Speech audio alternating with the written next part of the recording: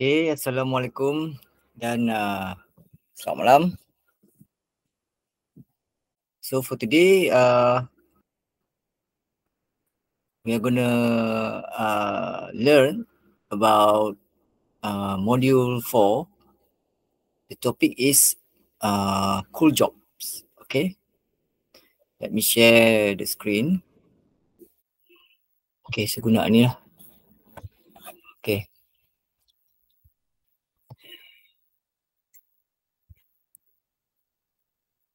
And hitam. Baik. Kalau kita tengok kat sini, someone who makes sick animals better as a job. So apa maksudnya? That Kalau yang ni safe, safe, safe, safe, safe, safe. Saya dah potong dah. Ya, jawapan dia apa? that Ya, vet. Betul, vet. Okay, nombor tiga. A place where some people study after they finish school. university. Uh, a place where some people study after they finish school uh, university. Okay, betul. Bagus. One. Uh, so tulisan saya tak elok lah sebab saya tulis me- menegak ni.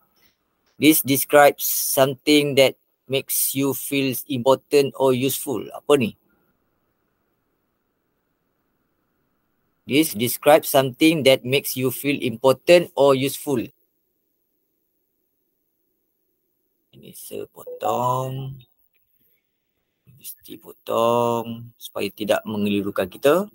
Okay, so tinggal yang tu lah yang belum jawab lagi. Ha.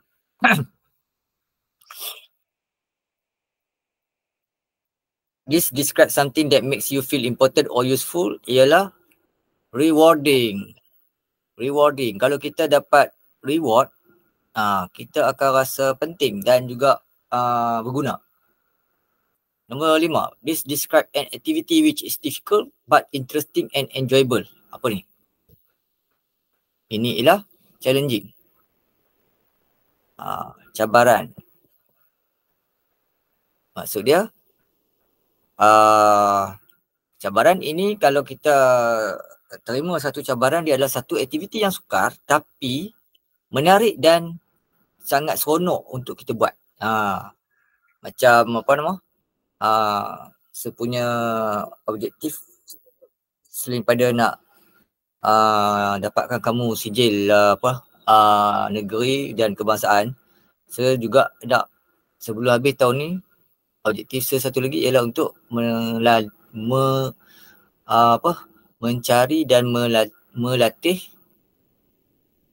lebih kurang seorang lah at least seorang yang boleh jadi uh, student waklet ambassador. Ha, okay. Itulah. Number six, someone who flies a plane as a job. Seseorang yang menerbangkan kapal terbang sebagai pekerjaan dia. Ha, apa dia? Pilot. Pilot. Ha, pilot. Okay, number seven, intelligent and good at learning things. Apa tu? pandai dan bagus dalam mempelajari benda. Apa dia? Clever lah. Clever. Good. Ha, clever. Uh, Someone who looks after a garden as a job. Seseorang yang gardener. Ah. Gardener. This describes someone who is active and full of energy. Apa ni? Energetic. Ah, energetic. Liking something and wanting to learn more about it. Interested Interested in. in. Ah, interested in. Okay. Next. Ah, complete the text with the words from activity one. Ah, my name is boleh tak sebab dalam betul ni. Yang ni hide tengok. Kalau saya tulis contiang kat sini boleh tak? Ah boleh juga. Oh, okey okey. Tapi saya tak nak cuba dah lah kelas point ni. Merajuk lah tak nak.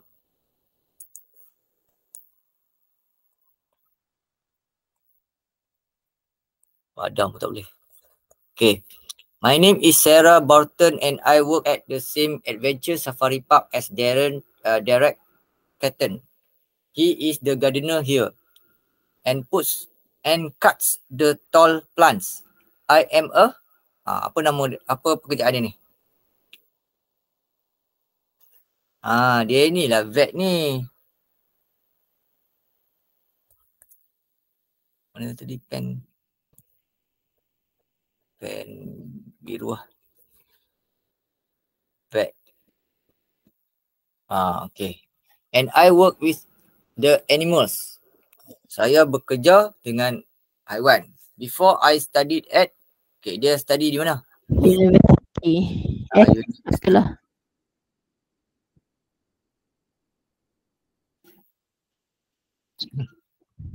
I wanted to be a, ah, dia nak jadi seorang apa?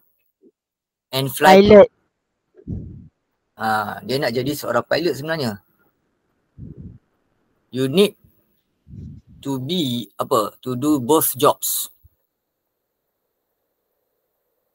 But I'm happy that I choose this job. Challenging.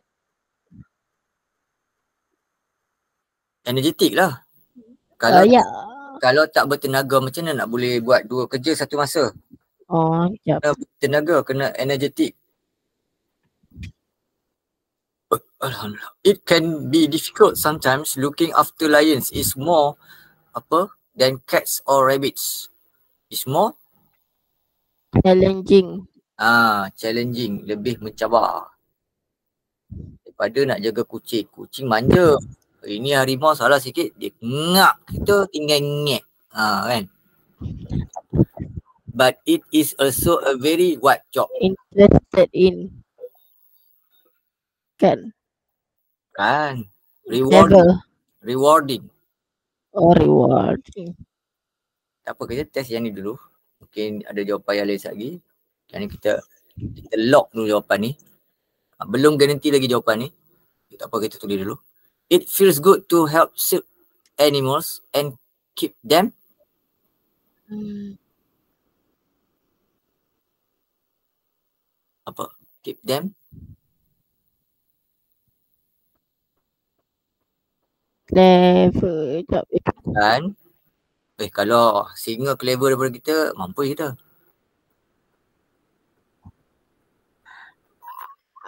Ah, boleh juga yang ni kita letak ah, energetik.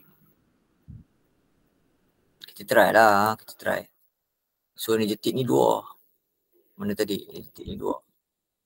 Pilot sudah, vet sudah, university sudah, rewarding sudah, clever sudah, challenging sudah, gardener sudah. Ah, tinggal interested in je. I'm very Interested in. interested in my life but I sometimes do more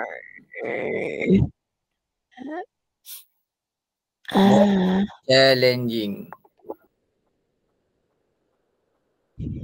activities like karate. Ah, Okay. So next. Okay. Ni kita dah baca dah. So kita baca soalan saja. Adela has been a pilot for 10 years. True or false? Jawapan dia kat sini. Ha. True or false? Betul ke salah? Dia dah jadi pilot selama 10 tahun. Tapi dalam teks tu kata dia jadi pilot 12 tahun dah. Ha. Betul ke salah? Salah. Ha? Jawapan dia dia uh, jadi jawab uh, dia jadi pilot tu sudah 12 tahun bukan 10 tahun. Okay. Number two. She helps people in danger. True or false? Dia tolong orang dalam bahaya. Betul ke salah? Ah betul lah ni. She flies a helicopter to look for and save people in difficult situation. Ah, difficult situation tu maksud dia.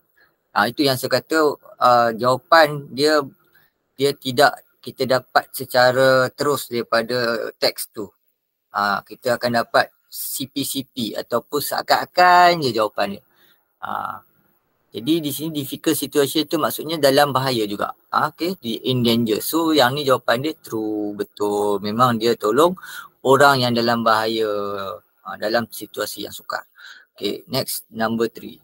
Number three cerita lain dah. Yang ni pun kita dah baca dah tadi. Saya dah baca dah. Okay. Jadi uh, kita baca soalan. Nombor tiga, Tyler has an intelligent horse. Betul ke Tyler ni, yang polis ni dia ada seekor kuda yang bijak? Betul ke? Ha, nampak clever. Clever samalah dengan intelligent. Okay. So true. Okay, number four.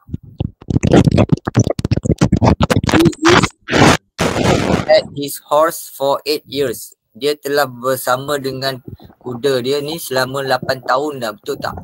Okay. Tyler Hayden has been a police officer for eight years.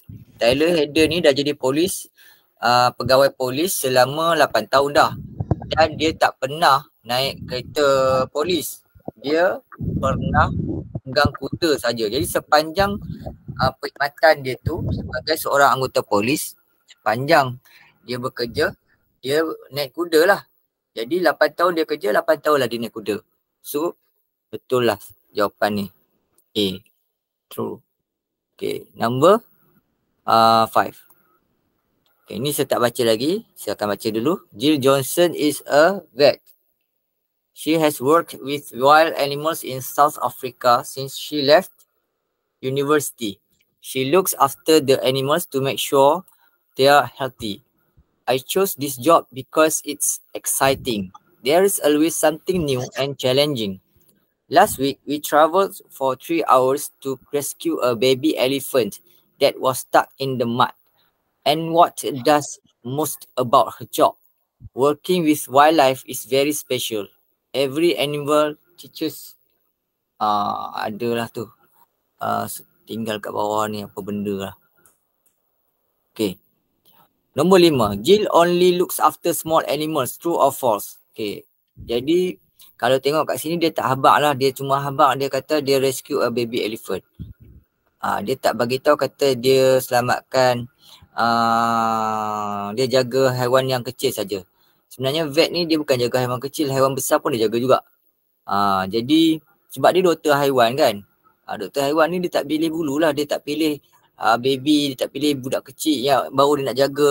Uh, bapak pun, mak haiwan pun dia jaga juga. Sakit dia akan rawat. Uh, okay, so jawapan dia false. Number six uh, her job is very challenging. Uh, betul lah. Uh, kat sini ada jawapan dia. Uh, challenging. So true. Uh, kerja dia sangat mencabar. Uh, sebab jaga haiwan ni bukan senang. Sebab haiwan ni haiwan liar bukan haiwan tame animal lah. Haiwan liar. Okay, tentang Derek Chatham. Derek Chatham is a gardener at an adventurer adventure safari park in Britain. He's worked here since 2001. He looks after plants which are more than two meters tall.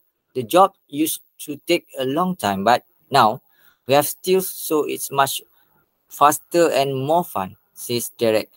I love working as a gardener. I'm in the fresh air all day.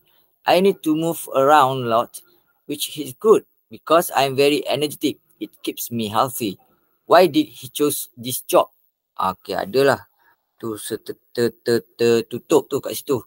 Okay, tak apa. Number seven, Derek did his job more quickly before he got stills. True or false? Derek dia buat kerja dia lebih cepat sebelum dia dapat still. Salah. Ha, kat sini, the job used to take long time. Ha, kerjaan ni selalunya akan mengambil masa yang lama. Tetapi bila saya dah ada still, dah ada mesin ni ah mesin ni okey uh, jadi kerja dia lebih mudah dan cepat dan seronok uh, jadi jawapan dia direct uh, buat kerja dia lebih cepat sebelum dapat steel tu salah lah false uh, dia dapat steel tu yang membuatkan kerja dia lebih mudah cepat dan menyeronokkan okey nombor lapan he would like to work in a smaller garden okey I love working as a gardener. I'm in the fresh I'm in the fresh air all day. I need to move around a lot. Okay. Kalau dia bekerja sebagai seorang uh, dalam kalau dia bekerja di dalam uh, garden yang kecil, dia tidak boleh uh, move around a lot. Dia hanya boleh bergerak uh, dalam ruang lingkup yang kecil saja. Jadi tak tak sihatkan badan dia tak berpeluh lah.